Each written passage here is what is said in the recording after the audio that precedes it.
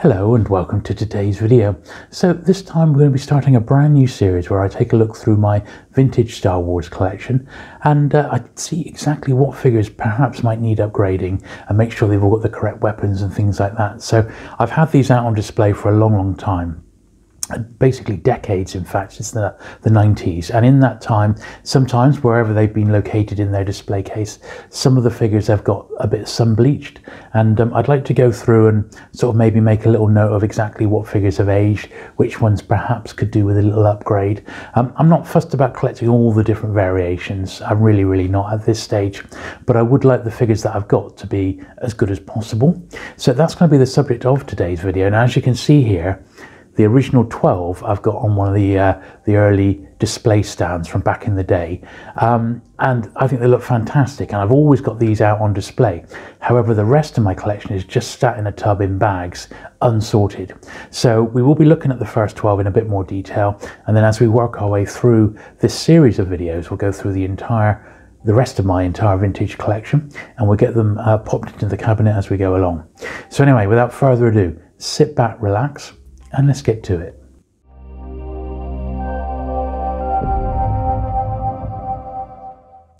Okay then, so here is the uh, the original released 12 figures on the uh, on this display stand. So you might remember this came out in 1978, and uh, this particular display stand actually got me into a bit of trouble with one of the bigger Star Wars Facebook groups, the Echo Base group based in the UK. So I've been a member of that group since it was about, I don't know, 800 members or something like that. And I've been putting up um, posts on my Star Wars unboxing videos as I was discovering the collection. And um, I put a video out where I was just looking for a way to basically display my original 12 figures, not in a display case, just these ones that you see in front of you. So I picked up one of these original display stands, really, really uh, uh, difficult to get hold of nowadays, but it was in a hammered old state. It had no backdrop and the sticker on the front was really hammered. So without really thinking, I suppose, I just went online um, to eBay and I just bought a brand new sticker sheet from, I think it was from Australia. And there was multiple people doing different sorts of backdrops, but I quite like the uh, Tatooine one. But unfortunately, that sort of broke the rules, even though I didn't sort of um, post it or explain what I'd done on uh, Echo Base's site, um, because I'd basically gone online and put a video out. Because of that, I was banned literally removed from the site after all those years. Um, I was, I have to admit, a bit annoyed by that because, because, and also surprised at something so, you know, I'm not trying to mislead anyone. It's my figures. I'm displaying them how I like to display them. And well, that was that. And, you know, I spoke to a few other collectors about it. And Dave at Toy Polloi said, look, if you've been banned by um, if you've been kicked out of Echo Base, then you wear it as a badge of pride. it's like you know, it's like you put it on your on your shoulder as, as like a medal because uh, you you've hit the spot there. I mean, and it's not just me; it's many many YouTubers seem to have been affected by Echo Base. I don't know what it is. I don't know if it's jealousy um, that you know we've got a massive audience who like our Star Wars content, or what really? I mean, I honestly don't understand it. But as I said, David Toy Polloi, Antonia, Analog Toys, Retro Blasting, dozens of channels have been like blacklisted. So I mean, you can easily get on. I mean, if I wanted to, I could go on Echo Base under all manner of multitude of different identities. But so what if they don't want me there? That's absolutely fine with me. But I did think it was incredibly petty. But hey ho, that's the way of the world. Um, but that's the little story behind this uh, this display tent. I think it looks fantastic. My figures, I'm sorry guys, but I'm going to display them exactly how I want to, and you can't tell me one way or the other. So let's get on with the rest of this video then. So I use um, as a reference, I'll just show you this. Oh, it's a little bit out of shot, but you can do this yourself. There's a great little website called Jedi Temple, and uh, they've got each. we've got it on my Chromebook here, and they have each uh, each figure and you can have a real good look and see exactly how what should be. So if we chose Darth Vader for, or the Death Squad Commander, there'd be a nice little picture show exactly um, what sort of weapons and things like that you might need for it. So I've got that off to the side so that I've got a little reference um, to see what a mint one looks like, but also um, if there are any particular um, weapons or anything that I might be missing. Um, also what colour they are, things like that. So we'll start off with uh, the original little R2-D2. Let's get this one in the middle here, and I'll try and get them up close. So what I'm looking for in this video is like on this one, for example, I want to see it's not brilliant white, but it is at least it's white enough. It doesn't appear to have faded. Um, I believe my R5D4 has faded. Now, does it click? Yes. So it still clicks. And the labels, I don't think, are too bad at all on that one. So I'd say R2D2, absolutely fine. Next, we've got Ben Kenobi. Now, I've got two versions of this one. Now, some of these you'll see on the base there, they're stuck on with um, original Death Star bases from back in the day. So let's have a look at uh, Ben Kenobi over here. And what I'll do, I'll um, potentially I'll pop these little pictures up, but I would suggest you just go to Jedi Temple and you can have a look at them yourself. I don't want to steal their thunder or anything. So I've got two versions. One's got white hair, which is the one that's on Jedi Temple, and I've got a grey hair one, but I believe there's a third one as well. Um, now, these aren't too bad, but what I'm going to do as we go through these, I'm just going to um, give them a little bit of a dust off. These ones here, I think are going to be absolutely fine because they've been under glass anyway, and they've been sort of protected, or under perspex, I should say, not glass. So these have been protected anyway. Not so the rest of my figures, which are in our rule. They definitely are dusty and dirty. So let's look at this one first of all then. So nice tight limbs there. And um, no sort of wear on the on the hands there. Be honest, that's uh, pretty pretty pleased with that one.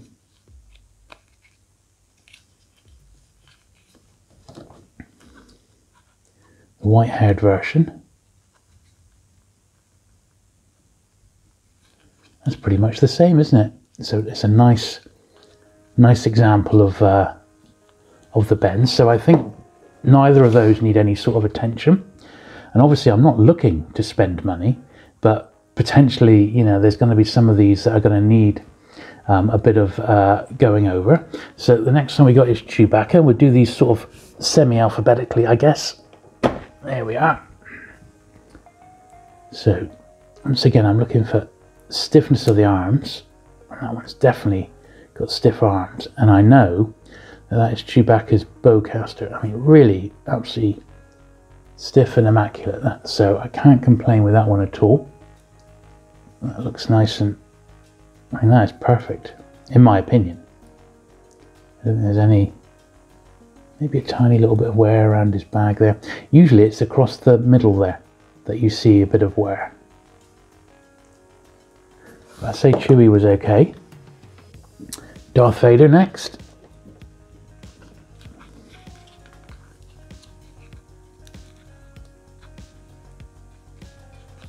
And um, this Darth should be absolutely fine because I believe it was one that was taken out of a Clipper mailbox, mailer box, which um, when I was a retailer, uh, we had a whole load of these Clipper Darth Vaders coming. We had about 100, and I think it's come from there. I mean, the arm is fairly loose, but the figure itself still still feels, you know, pretty stiff and mint.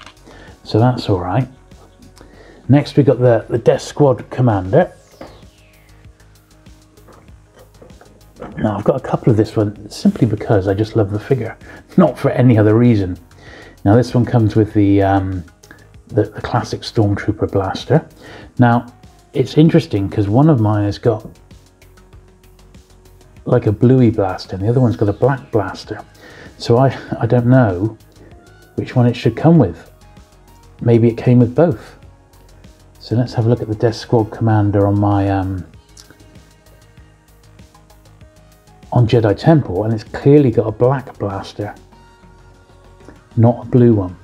So potentially then, this blue one here, which I'm, I'm certain all my weapons are originals, um, that needs to be swapped out for a black one, which is uh, one of them. Actual figure wise, I suppose that it will get damaged along his little emblem there on the chest. Limbs don't feel too bad on that one.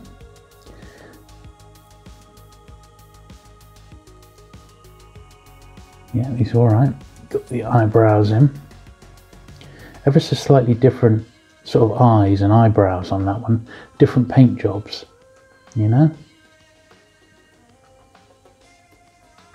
The belts seem okay. Yeah, I'm pretty pleased with both of those, to be honest. Okay, so here's the large head Han first of all. Now,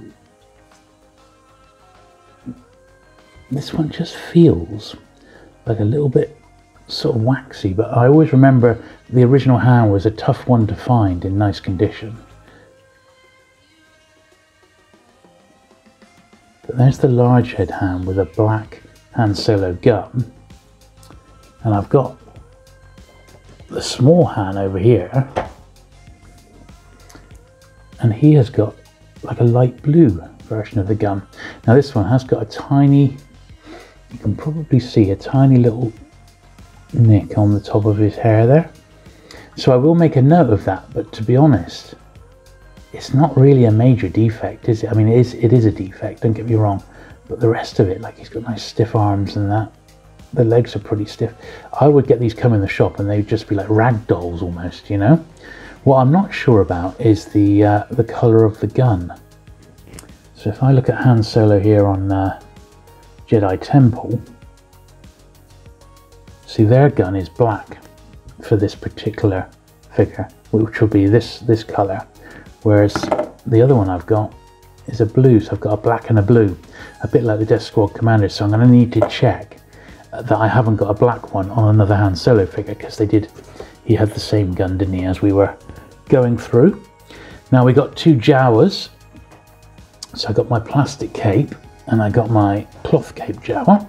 So if we look at my plastic cape one, so I've had, um, over the years, I must have had about four through my hands. We had at least two come in the shop, which were um, just original owner ones, and I knew they were definitely genuine because the people didn't actually know about the later cloth cape Jawa. This was just the Jawa that was in their collection. Um, these aren't bad. It does appear as if it's got some dust in the legs which is why I'm just doing this with the uh, toothbrush. Back in the day when we sold the figures, as new ones will come in, I would always just give them a bit of a bath in soapy water because um, it would clean them all up then and, and rub them with a toothbrush. And that was back in the in the 90s. But um, this is a genuine one. Um, it is my original one because when I first um, started buying Star Wars, this was the only Jawa you could get. That was right back in 1978, and this was this was the only one I had for many years until I got the cloth cape one later on. I always thought he was bad value for money because he was so short. You didn't get a lot of figure for your money, but he is an original one. Um, I've done all the tests on him. You know, you can sort of you rub you rub the uh, the cape and it makes a little bit of a sound like a scraping sound. I've done all that. Um, the only thing I've not really done is get the uh, get it graded, but um, I suppose it's something to do eventually. I'm going to have to do um, get some of these graded, but at the moment I don't really see the point. I'm not looking to sell it or anything. I just want them out on display more than anything. Wish he'd hold his gun, which is what we find with a few of these, don't we? They just don't hold their weapons very well. But hey, but he's all right. I'm not looking to do any improvements on that one. My cloth cape one, well, there's a few variations of that, isn't there? But I do know that this one, if you have a look, it's the hands. You see the hands have got some wear. He actually seems a little bit loose, loose armed as well. Underneath, he's all right. Yes, it's those hands that are going to be that let him down really. So this one is going to go on the wants list as one to replace the overall figure. I've got the gun, I've got the cape, it's just going to be the figure itself because the hands there are a bit worn. Sadly. But not the end of the world.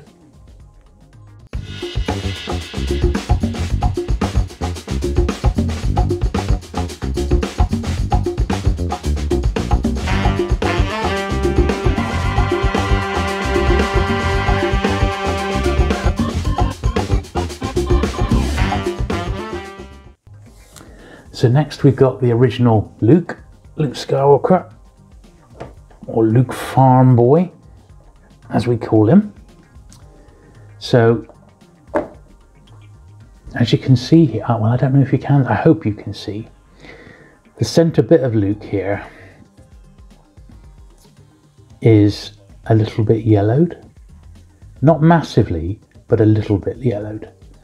The rest of him seems pretty nice, but if you compare it to the back, you could say that that's got some sun damage. See the different colours? That's been exposed to the sun and has caused it to uh, yellow up a little bit. Whereas the back hasn't been exposed because the figure's been out like that and it hasn't exposed it. Now, this is an expensive old figure and I still think it's a real beauty, don't get me wrong. It just, once again, it's a, light, a bit like the um, Death Squad Commander. It just sort of feels a little bit waxy, a little bit dirty, and I'm super sort of tempted to um, to give these a bit of a wash, just to uh, clean them up a little bit. Um, I'm not really sure if I want to because they were all really clean when they went into the cabinet um, years ago. It's just like a basic sort of layer of dust. These aren't too bad, but I think when we get to the other ones, which we'll look at in a minute, um, we're going to have a real job on our hands because I think those figures might just need washing out right. I don't know until we really get it stuck in. But apart from that, that's the beauty, to be honest. And I think it's going to be this has got the head on this one's a little bit looser. But apart from that, stiff arms again. Similar sort of thing, it's like the middle torso is aged a little bit. And uh, I guess it's just something that you find happens on um, on certain figures. Looking at the different manufacturers marks and they are different. So I'll make a note on these to say that the torso is is yellowed slightly, but it's not going to be something that I'm gonna. I think I have to get rid of that now. I just don't want it. It's almost going to be like um, small head Han's, little bit of hair lost there, I'm happy to live with it. To be honest, I'm not. It's not the end of the world. Um, you can go a bit into too much detail here, and I'm not looking for perfection because else I'd be out there buying graded, wouldn't I? Um, I'm just looking for half decent. So, Princess Leia. Now, let me just check. I'm checking Jedi Temple again here and on the left and yeah it's a nice nice black gun which is what this one's got. Now I've had a few of these through my hands and this is a really really tough figure to get. Usually her eyebrows are like worn off if the figure's been played with. But as you can see there's almost like almost like the molding marks on her hands. She's hardly had anywhere at all. Maybe a tiny bit of fading to the middle torso again. Apart from that, it's a really, really nice example of that. I guess quite difficult figure to get, this one nowadays. Now we've got the, the Sand People. Now I know there's a couple of variations, but I'm not too fussed about them. I'm just happy to have the original one, and he's uh, got his gaffi stick there. That all seems absolutely fine. Um, limbs are fairly oh, they're actually quite his legs are quite loose but the, the arms are quite stiff so that's all right um, no obvious signs of sort of fading really on that one I'll be quite happy with that. So that's absolutely fine. Nothing to worry about on that one. Um, C3PO, this is a figure that's tricky to find and once again we get them come into the shop and they just be, all the limbs would be loose. If you feel this, look at that, look how tight the limbs are on that C3PO. You could almost say he was as close to perfection as you're going to get for an ungraded loose figure, I guess, that one. And that's the way you really want them. Absolutely fantastic, that. A beauty. Absolute beauty. Nothing wrong with that at all. And the last one is uh, the Stormtrooper. So I used to have armies of these. I'm sure every Star Wars fan did. Now, this was a lovely crisp white one. And once again, in the years and years that it's been on display, the middle torso has aged um, and gone a little bit yellow.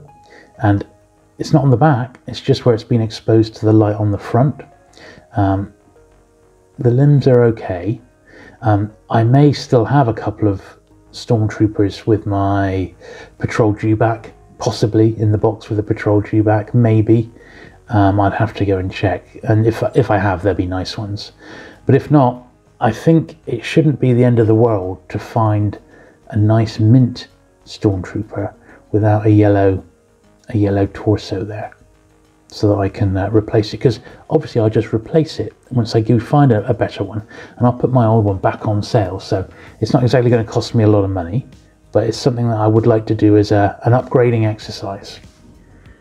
So that's the original 12 back on display in their slightly controversial display stand. and don't get me wrong, I do understand where Echo Base are coming from. It's just um, I did feel a little hurt at the time considering um, this is the only sort of repro or reproduction piece that I've got in my collection. Um, but hey ho, it is what it is. So yeah, on the whole, these weren't actually too bad. And um, although I'll make a note about the, the two Lukes there and the Stormtrooper with the, uh, sort of the more faded torso middle bits, and that Jawa there. Definitely going to need a new Jawa because the hands are pretty gone on that one. The rest of them I'm more than happy with, to be honest. So uh, quite encouraged by that. So I'm going to stick that one back into its GW acrylic case and then I'll just show you as a teaser what we've got coming up next time. Okay, so I got my original 12 back in their GW acrylic cases and this basically, what you see here, this is what we've got coming up. So what happened was where um, at the start of this year, or sorry, the start of last year, we had our kitchen done. So I knew it was going to be a massive, dusty old experience. So what I did, I took my display case down and I took all the uh, all the figures that were in it out. So if we just take this box, which, this bag, which is on the, the top here, this has got, as you can see, a bag of vintage Star Wars figures. Now all of these are going to need going through, literally bit by bit, check that they've got the correct weapons with them. I'm going to make a note of any that need upgrading, similar to what we've just done there. And uh, I'll work on trying to improve my collection going forward. Now this is going to be quite a time consuming bit. So we've done the first 12. I'll do the next little video. I'll try and pull out sort of the tail end of the Star Wars figures. And then we'll do uh, Empire Wave 1, Wave 2, Jedi Wave 1, Wave 2, and then uh, Power of the Force at the end. Um, and uh, as we go along, I can now, um, as I edit these videos, I'm going to be starting to make my own little list and I can start keeping my eyes peeled online for um, particular figures as they come up for sale. So there you go. I've got quite a job ahead of me now. Um, I do hope you uh, come along for the ride and I hope you are pleased to see some brand new Star Wars content on the channel because I know a lot of you have been uh, craving some of that. So if you have enjoyed today's video, do please give it a thumbs up. Do please consider subscribing if you've not already for regular vintage Star Wars content. And I look forward to seeing you again soon with another video. Bye.